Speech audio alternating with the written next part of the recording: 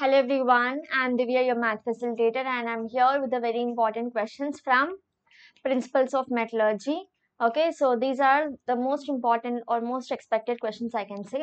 So, firstly, have a look reverberatory furnace diagram. Okay, so diagram is important, and difference between roasting and calcination. This was asked for essay question also in pre-final of uh, some district. Then prevent rusting of iron, or how do you prevent corrosion of metals? So same question, same answer, but different way of asking the question.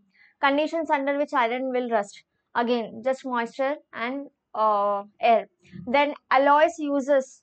Okay, what are the uses of alloys? Or they may ask you the same question. What if alloys were not invented? Okay, what if there are no alloys? So same answer. Alloys uses. Then the opposite of it are nothing but what if alloys are not invented. So the uses only you will write. This use you you cannot find. You could have not been uh, you know uh, used. Suppose you have stainless steel now. So you you could have not got steel which is very durable. So like that uses of alloy means you say uh, you you are getting metals which are durable.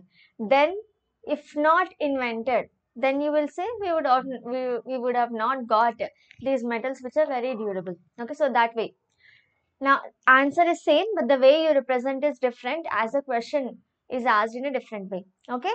Then from here, long answers. Physical methods used to concentration of ore and explain the method used for concentration of sulfide ore specifically. Techniques in purification of crude metals and you need to explain them okay? So these are the basic questions which you need to focus first from the chapter metallur metallurgy okay? So i'll see you all with the next chapter and please share this with all your friends whoever are tensed and also do subscribe to the channel for a lot more important videos and definitely like the video. Thank you so much. All the very best. Prepare well